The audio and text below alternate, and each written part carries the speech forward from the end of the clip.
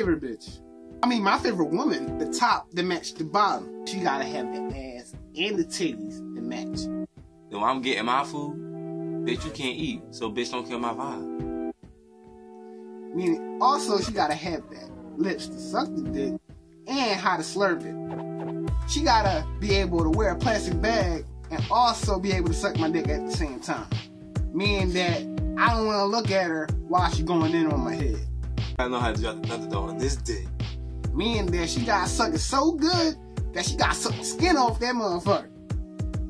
to the family because alright, my main chick already met her. So you gonna have to sneak in through the back door, you feel me? My main girl here, she can't be in the house or else I would get in trouble. She gotta be able to know that right after the church, we gonna be in my house fucking. She gotta be able to know the right time to leave my house after we finish fucking. Give a nigga head, you feel me? How to suck the skin off a nigga dick and make a dick pleasing.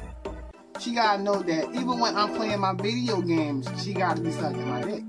My perfect woman, she gotta be deaf because if I'm fucking a girl in my bedroom and she in the next room, then she know that she can't be hearing shit. That when I'm playing my game, she gotta suck this dick at the same time, but she just can't kiss me. I'll slash it.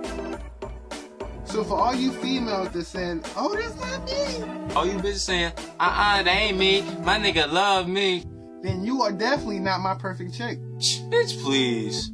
So inbox me your name so I could take your resume out of the pile, bitches.